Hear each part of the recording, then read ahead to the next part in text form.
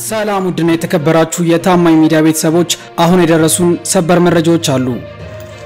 በኦሮሚያ ክልል አሰቃቂ ዜጎች ጥቃት አሁንም እንዳልቆመ ተነገረ።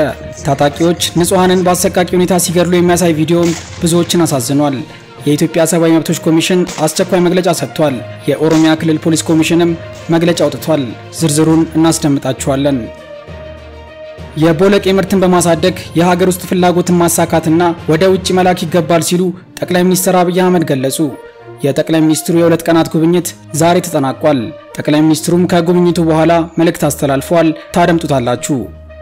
ከጦር ግንባር በተሰማ ዜናም የሰሜኑ ጦርነት ወደ አፋር ክልልም መዛመቱ ተሰምቷል። የሀገር መከላከያ ሚኒስቴር በወቅታዊ ጉዳዮች ላይ መግለጫ ሰጠ። የአማጺው ህወሓት ጦር አዛዥ ጀነራል ጻድቃን ገብረትንሳይ ሰሞኑን የተጀመረው ውጊያ በቀናት ወይንም ሳምንታት ውስጥ ይጠናቀቃል ብለዋል። ጌታቸው ረዳም የተናገረው አለ፣ እናስደምጣችኋለን። እስክንድር ነጋን በተመለከተም ዛሬ ከፍርድ ቤት የተሰማ ዜና አለ። እንዲሁም መቶ ሺህ ብር ጉቦ ሲቀበል የተያዘውን ጉደኛ የወረዳ አስተዳዳሪውን ዜና ጨምረን ሌሎችን በርካታ መረጃዎች ይዘናል። እስከ ፍጻሜው አብራችሁን ቆዩ። ለቻናላችን አዲስ ከሆኑም subscribe በማድረግ ታማኝ መረጃዎችን ማግኘቶን ያረጋግጡ። ይህ የእናንተው ታማኝ ሚዲያ ነው።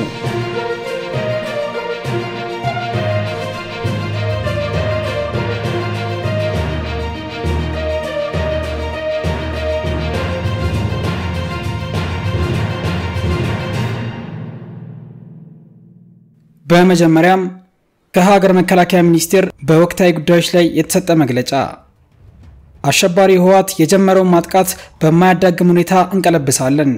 ህወሓት በሰሜን ሰራዊታችን ላይ ወረራ ወይንም ጭፍጨፋ ከፈጸመ በኋላ መንግስት በወሰደው ህግን የማስከበር ዘመቻ የጠላት አከርካሪ ተሰብሮ ጁንታው ተደምስሶና የተረፈው ተበትኖ ዋሻ ገብቷል። መንግስት ለስምንት ወር ትግራይን የማረጋጋትና የመልሶ ግንባታ ስራ እየሰራ ነበር።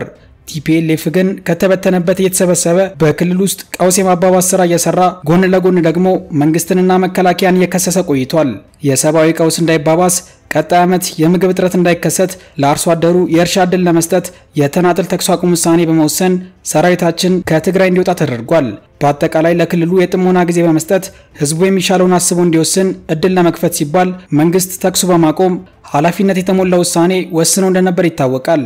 አሸባሪ ህወሓት ግን ተመሳሳይ እርምጃ ከመውሰድ ይልቅ የመከላከያ ሰራዊታችንን ተከታትሎ በማጥቃት ግጭቱን ወደ አማራና አፋር ክልሎች በማስፋፋት በትግራይ እንዳይደርስ የተፈለገውን ቀውስ ወደ ሁለቱ ክልሎች አስፋፍቶታል። ግጭቱን ወደ አማራና አፋር ክልሎች በማስፋፋት የህዝቡ መሰረተ ልማቶችን እያፈረሰ ወስዷል። መውሰድ ያልቻለውን አውድሟል። ንጹሐን ዜጎችን ገድሏል። የአርሶ አደሩንና የአርብቶ አደሩን ቤት አቃጥሏል። ከብቶቻቸውን የሚበላውን በልቶ ቀሪውን ገድሏል። እጽዋቶችን አጥፍቷል። አዝርቶችን አጭዶ ወስዷል። ጁንታው የጅቡቲ መስመር ለመቁረጥና ወልቃይት ጠገዴን በማጥቃት በሱዳን በኩል ኮሪደር ለማስከፈት የሚል ዓላማ ይዞ ተደጋጋሚና መጠነ ሰፊ ማጥቃት ፈጽሟል። በሁለት ሳምንት አዲስ አበባ ለመግባት በሚል በሰሜን ወሎ በኩል ሰፊ ማጥቃት ሲያከናውን ከርሟል። ጀግናዊ መከላከያ ሰራዊታችን ይህንን ሀገር የማፍረስ የጁንታ እቅድ እንዲመክን አድርጓል። እጅግ ከባድ ኪሳራም አድርሶበታል። ከሶስት ቀን በፊት በራሳቸው አንደበት ሌተናል ጀነራል ጻድቃን የተባለው የጁንታው አባል ጦርነቱን እናሳጥረዋለን፣ በሁለት ሳምንት አዲስ አበባ እንገባለን፣ ፖለቲካዊ ወታደራዊና ዲፕሎማሲያዊ ሁኔታን እንቀይራለን በሚል ባወጀው ጦርነት በሁሉም ግንባሮች ውጊያ ከፍቶ ይገኛል። ራሳቸውን በለኮሱት ውጊያ በጀግና የመከላከያ ሰራዊታችንና ሌሎች የጸጥታ ኃይሎች ጥምረት እየተቀጠቀጠ ይገኛል። የጁንታው መሪ ደብረጽዮን ገብረ ሚካኤል ከሶስት ቀን በፊት የሌተናል ጀነራል ጻድቃንን መግለጫ በማጠናከር ኢትዮጵያውያንን እንደ አባቶቻቸው በመቅበር ሰላማችንን እናረጋግጣለን የሚል እቅድ እንዳላቸው በሚዲያ ገልጸው እቅዳቸውን ተግባራዊ ለማድረግ በሁሉም ግንባር ከሰኞ ጀምሮ ውጊያ ከፍተዋል። በጀመሩት ውጊያም አይቀጡ ቅጣት እየደረሰባቸው ይገኛል። የመከላከያ ሰራዊታችን የጁንታውን ጥቃት የመመከት ውጊያ እያካሄደ የጠላትን ወራሪ ኃይል መመከት ብቻ ሳይሆን እየደመሰሰ የኢትዮጵያን ደህንነትና ሕልውና የማስከበር ታሪካዊ ኃላፊነቱን እየተወጣ በጠላት ላይ ከባድ ኪሳራ እያደረሰና ሽንፈት እያከናነበው ይገኛል። ይህንንም ገድል አጠናክሮ ይቀጥላል። ኢትዮጵያ በልጆቿ መስዋዕትነት ታፍራና ተከብራ ለዘላለም ትኖራለች ይላል የመከላከያ ሚኒስቴር መግለጫ።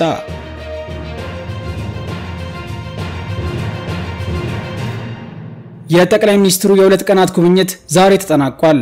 በጠቅላይ ሚኒስትር አብይ አህመድ የተመራውና የክልል ርዕሳነ መስተዳድሮችና የሁለቱ የከተማ አስተዳደር ከንቲባዎች የተሳተፉበት የሁለት ቀናት የግብርና ስራዎች ጉብኝት ዛሬ ተጠናቋል።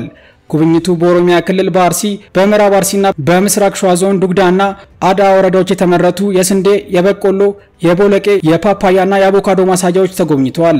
በኦሮሚያ ክልል የተሰሩ የግብርና ስራዎችን በመመልከት ተሞክረውን ለሌሎችም ክልሎች የማካፈል ዓላማ እንዳለው ተነግሯል። ጠቅላይ ሚኒስትር አብይ አህመድ ኢትዮጵያ ያላትን የመልማት አቅም በመጠቀም በምግብ ፍጆታ ራስን መቻል እንደሚገባም ተናግሯል። ለዚህም የግብዓት የብድርና የገበያ ትስስር ጥያቄዎችን መፍታት እንደሚገባም ጠቅላይ ሚኒስትሩ ተናግረዋል። በጉብኝቱ የተሳተፉ የክልል ርዕሳነ መስተዳድሮችም ተሞክሮን በማስፋት እንደየክልሎቻቸው የመልማት አቅም ተግባራዊ እንደሚደረግም ተናግረዋል።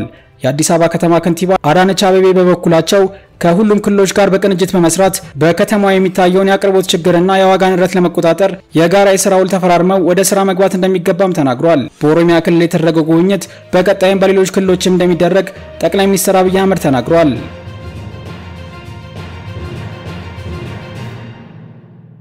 በኦሮሚያ ክልል አሰቃቂ ዜጎች ጥቃት አሁንም እንዳልቆመ ተነገረ። ታጣቂዎች ንጹሐንን በአሰቃቂ ሁኔታ ሲገድሉ የሚያሳየው ቪዲዮም ብዙዎችን አሳዝኗል። በኦሮሚያ ክልል ምስራቅ ወለጋ ጊዴ አያና ወረዳ አንድ ወደ ጊቾ ቀበሌ ዛሬም ስምንት ንጹሐን ዜጎች በብሔራቸው ተለይተው ተገድለዋል ተብሏል። አንድ ቀበሌ ላይ ብቻ አምስት ሰዎች በአሸባሪዎች ታፍነው እስካሁን የደረሱበት አልታወቀም። የተቀሩትም ሸሽተው ጫካ ገብተዋል። በሺ የሚቆጠሩ ንጹሐን ዜጎች ደግሞ አካባቢውን ለቀው ወደ ጎጃም የተሰደዱ ናቸው። ከአንድ ሺህ ሄክታር መሬት በላይ ማሳ ወድሟል። ጫካ ሸሽተው የገቡት አሁንም ድረሱልን ማለቃችን ነው እያሉ ነው። ለወረዳው ሰዎች ደውለው ሲጠይቋቸውም አርፈ ተቀመጥ፣ ምን ስለተቸገርክ ነው የሚል ምላሽ እንደሰጧቸው ከቦታ የደረሰ መረጃ ያመለክታል። አሁንም በወለጋ ጫካዎች የአማራ ሕጻናት ያለቅሳሉ። እርጉዝ እናቶች ድንጋይ ተንተርሰው ያለቅሳሉ። አዛውንቶች መሄጃ አጥተዋል። የኢትዮጵያ ሰብአዊ መብቶች ኮሚሽን ባወጣው አስቸኳይ ጋዜጣዊ መግለጫም በኦሮሚያ ክልል ምስራቅ ወለጋ ዞን ኪረሙ ወረዳ ሀሮ ባጊንና ኪረሙ ቀበሌዎች ከመስከረም ወር 2014 ዓ.ም ጀምሮ ባሉት ተከታታይ ቀናት በሸኔ ታጣቂዎች በነዋሪዎች ላይ ጥቃት ይፈጸም እንደነበር መስከረም 26 ቀን 2014 ዓ.ም በአካባቢው የነበረው የኦሮሚያ ልዩ ኃይል በግዳጅ ምክንያት ከአካባቢው በመሄዱ ከመስከረም 30 ቀን 2014 ዓ.ም ጀምሮ ባሉት ተከታታይ ቀናት የሸኔ ታጣቂዎች በሀሮ ቀበሌ ተኩስ በመክፈት የአማራ ብሔር ተወላጅ የሆኑ ሰዎችን እንደገደሉ፣ የአካል ጉዳት እንዳደረሱና ንብረት እንዳወደሙ መረጃዎች ለኢሰመጉ ደርሰውታል። ይህ መግለጫ እስከወጣበት ቀን ድረስም ታጣቂዎቹ በአካባቢው በመኖራቸው የሟቾችን አስክሬን ለማንሳትና የአካል ጉዳት የደረሰባቸውን ሰዎች ወደ ሕክምና ለመውሰድ አለመቻሉን፣ ሴቶችና ሕጻናት አሁንም በጫካ ውስጥ እንዳሉና ለጥቃት እንደተጋለጡ እንዲሁም ነዋሪዎች በምግብ እጦት ላይ መሆናቸውን ኢሰመጉ ካሰባሰባቸው መረጃዎች ለመረዳት ተችሏል። በተጨማሪም ለግዳጅ ሄዶ የነበረው የኦሮሚያ ልዩ ኃይል ጥቅምት 2 ቀን 2014 ዓ.ም ወደ ሀሮ ቀበሌ ተመልሶ የነበረ ቢሆንም አመሻሹን ተመልሶ መውጣቱን በዚህም የሸኔ ታጣቂዎች በአካባቢው በብዛት እንዳሉና ነዋሪዎች በከፍተኛ የደህንነት ስጋት ውስጥ መሆናቸውን እንዲሁም ይህ መግለጫ እስከወጣበት ድረስም በአካባቢው የተኩስ ድምፅ እንደነበር ለኢሰመጉ የደረሱ መረጃዎች አመልክቷል። የኦሮሚያ ክልል የመንግስት ኮሚኒኬሽን ቢሮም በምስራቅ ወለጋ ዞን ኪረሙ ወረዳ ሀሮ ከተማ ጽንፈኛ አሸባሪ ቡድን ሸኔ ጥቅምት አንድና ሁለት በንጹሃን ላይ በከፈተው ጥቃት በሰው ሕይወትና ንብረት ላይ ጉዳት ማድረሱን አስታውቋል። ቡድኑ ከህወሓት የሽብር ቡድን ጋር ህብረቱን ካረጋገጠ በኋላም በብሔር ብሔረሰቦች ላይ ትንኮሳ በማድረግ ግጭቶችም የብሔር መልክ እንዲይዙ እየሰራ ይገኛል ብለዋል የቢሮ ኃላፊ አቶ ኃይሉ አዱኛ።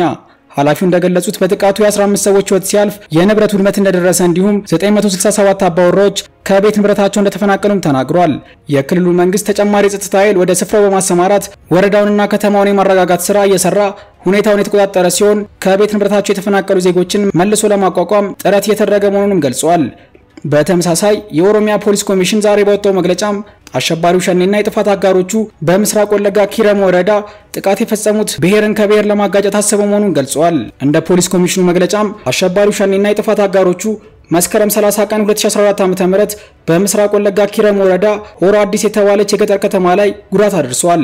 ጥቃት የፈጸሙትን የአሸባሪ ሸኔ አባላትን ለመደምሰስና ችግሩን በዘላቂነት ለመፍታት የተለያዩ ተግባራት በመከናወን ላይ መሆናቸውንም አስታውቋል። በአሸባሪ ቡድኑ ላይም ጠንካራ እርምጃ ይወሰዳል ብለዋል። የክልሉ ፖሊስ ኮሚሽን አክሎም በሌላ በኩል የተወሰኑ መገናኛ ብዙሃን የጉዳቱ ሰለባ የሆኑት ኢትዮጵያውያን የተለያዩ ብሔር አባላት ሆነው ሳለ ተጎጂዎችን የአንድ ብሔር አባላት ማድረጉ ተገቢ እንዳልሆነም በመግለጫው አስታውቋል። በቀጣይም መገናኛ ብዙሃን ትክክለኛውን መረጃ ከተገቢ አካላት ማጣራት እንደሚኖርባቸውም ጠቁመዋል። በአካባቢው የጸጥታ አካላት አስፈላጊውን ሁሉ መስዋዕትነት እየከፈሉ እንደሚገኙ ነው የተጠቀሰው። የኦሮሚያ ክልል አስተዳደራዊ መዋቅር በሸኔ ታጣቂዎች መጠለፉን ከቀናት በፊት ኢሳት ዘግቧል።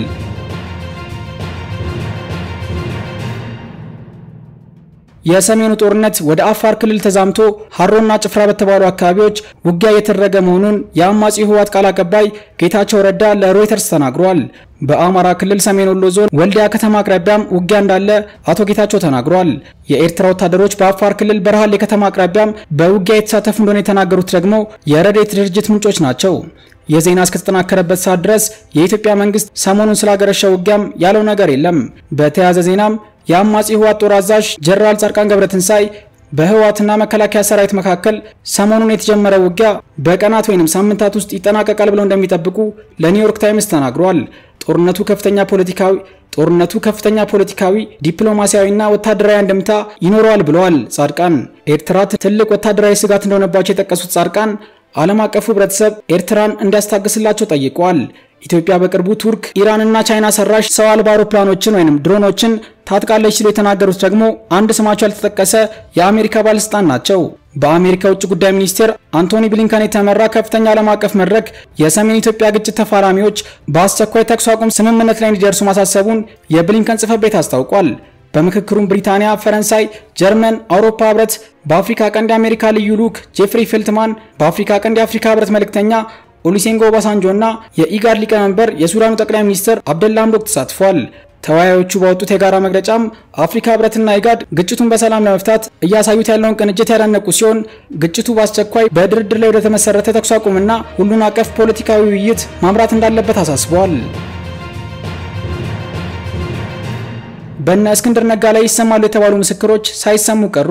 ከድምፃዊ ሃጫሉ ሁንዴሳ ግድያ ጋር በተያያዘም በአዲስ አበባ ከተማ ተፈጥሮ በነበረው ሁከትና ብጥብጥ በደረሰው የሰዎች ሞትና ንብረት ውድመት ጋር በተያያዘ ክስ በተመሰረተባቸው የባልደራስ አመራሮች እስክንድር ነጋ፣ ስንታየው ቸኮል፣ አስቴር ስዩምና አስካለ ደምሴ ላይ የአቃቤ ሕግ ምስክሮች ለመስማት ተሰጥቶ በነበረው ቀጠሮ መሰረት ዛሬ ጥቅምት 4 ቀን 2014 ዓ.ም ፍርድ ቤት የቀረቡ ቢሆንም ምስክርነቱ ሳይሰማ ቀርቷል። በፌዴራል ከፍተኛ ፍርድ ቤት ልደታ ምድብ አንደኛ የጸረ ሽብርና ህገ መንግስታዊ ጉዳዮች ወንጀል ችሎት የቀረቡት የፌዴራል ጠቅላይ ፍርድ ቤት በግልጽ ችሎት እንዲታይ ሰጥቶት በነበረው ትዕዛዝ መሰረት የከሳሽ አቃቤ ህግ ምስክሮች ለመስማት በነበረው ቀጠሮ መሰረት አቃቤ ህግ ሁለት ምስክሮች ይዘው መቅረቡን የገለጸ ቢሆንም በተከሳሾች በኩል የተቃውሞ አቤቱታ ቀርቧል። የተከሳሾች ጠበቆች ለፍርድ ቤቱ ባቀረቡት አቤቱታም የፌዴራል ጠቅላይ ፍርድ ቤት ሰበር ሰሚ ችሎት በፈረደው መሰረት ምስክሮች በግልጽ ችሎት የሚቀርቡ ከሆነ የወንጀለኛ መቅጫ ስነ ስርዓት ህጉ በሚፈቅደው መሰረት የምስክሮችን ስም ዝርዝር አስቀድሞ ለተከሳሾችና ለጠበቆች መስጠት ያለበት ቢሆንም እንዳልተሰጣቸው ተናግሯል። የምስክሮቹ ስም ዝርዝር ቀድሞ መድረሱ የምስክሮችን ማንነት ለማወቅና መስቀለኛ ጥያቄዎችን ለመጠየቅ እንደሚያስችላቸው በመጠቆም እንዲሰጣቸው ጠበቃ ሄኖክ አክሊሉ ሰለሞን ገዛኸኝና ቤተ ማርያም አለማየሁ ጠይቀዋል። ተከሳሾቹ ላቀረቡት አቤቱታ ምላሽ የሰጠው አቃቤ ህግ የምስክሮቹን ስም ዝርዝር እንዲሰጥ በፍርድ ቤት አለመታዘዙን ያስረዳ ቢሆንም ጠበቆቹ ግን ጉዳዩ ቀደም ሲል በተከራከሩበት የምስክሮችና ጠቋሚዎች ጥበቃ አዋጅ መሰረት ሳይሆን በወንጀለኛ መቅጫ ስነ ስርዓት ህጉ የሚታይ መሆኑን ጠቁመው ለብቻው ልዩ ትዕዛዝ እንደሚያስፈልገውና ስም ዝርዝራቸው አስቀድሞ መስጠት እንዳለበት በህጉ በግልጽ በመቀመጡ ሊሰጣቸው ይገባ እንደነበር አስረድተዋል። አቃቤ ህግ ሁለት ምስክሮች መቅረቡን በሚመለከት የተከሳሾች ጠበቆች በሰጡት አስተያየትም በአንድ ችሎት ቢያንስ አራት ምስክሮች መቅረብ እንዳለባቸው ጠቁመው አቃቤ ህግ ሁለት ብቻ ለማቅረብ መጠየቁ አግባብ እንዳልሆነና ይህ የሚያሳየው የፍትህ ጊዜውን ለመግፋት ያለመ እንደሆነ ተናግሯል። የግራ ቀኙን ክርክር የሰማው ፍርድ ቤቱም አቃቢ ህግ የምስክሮችን ስም ዝርዝር አስቀድሞ እንዲያቀርብ ትዕዛዝ ሰጥቶ ክርክሩ ካለፉት ችሎቶች የቀጠለ መሆኑን በመግለጽ ዳኞች መዝገቡን ተመልክተው በተነሱ ክርክሮች ላይ ብይን ለመስጠት ሌሎች በተከሳሾች ከመብት ጋር በተያያዘ የሚያነሷቸውን አቤቱታዎች በቀጣይ ችሎት እንደማያዩ በመናገር ምስክሮቹን ለመስማት በአዳር ለጥቅምት 5 ቀን 2014 ዓ.ም ቀጠሮ ሰጥቷል።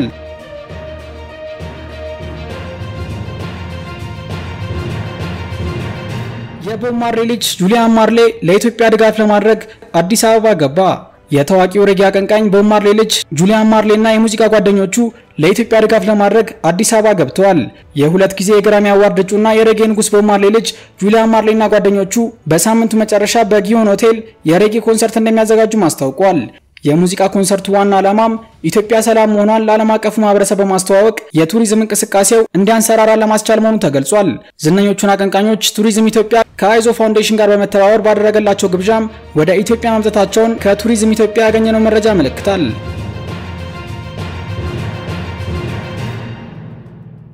በመጨረሻም 100 ሺህ ብር ጉቦ የተቀበለው ሹም ተያዘ። በጉለሌ ክፍለ ከተማ 100 ሺህ ብር ጉቦ የተቀበለው የወረዳ አስተዳደር የስራ ኃላፊ ከነ ኤግዚቢቱ እጅ ከፍንጅ ተይዞ ምርመራ የተጣራበት መሆኑን የአዲስ አበባ ፖሊስ አስታውቋል። የግል ተበዳይ በሽሮ ሜዳ ገበያ በባህል አልባሳት ንግድ ስራ ተደራጅቶ እየሰራ የሚገኝ ግለሰብ ነው። ወደ ጉለሌ ክፍለ ከተማ ወረዳ ሶስት አስተዳደር ጉዳይ ለማስፈጸም በሄደበት አጋጣሚ በአስተዳደሩ የስራ ኃላፊነት ላይ የተመደበ ግለሰብ አግኝቶት እንኳን ደህና መጣህ ስፈልግን ያገኘው ካለው በኋላም የምትሰራበት የንግድ ሱቅ ፈቃድ የሌለው ስለሆነ 100 ሺህ ብር ካላመጣህ እናሽጓለን በማለት ጉቦ እንደጠየቀው በምርመራ መረጋገጡን የአዲስ አበባ ፖሊስ ገልጿል።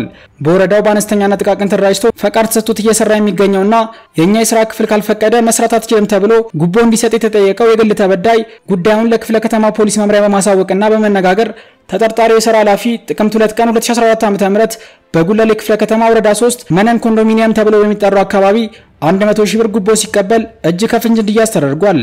ምርመራውም እየተጣራበት እንደሚገኝና በዚህ ወንጀል ተሳትፏል ተብሎ የተጠረጠረ ሌላ የስራ ኃላፊን በቁጥጥር ስር ለማዋል ክትትል የተደረገ እንደሆነም የጉለሌ ክፍለ ከተማ ፖሊስ መምሪያ ወንጀል ምርመራ ክፍል ገልጿል።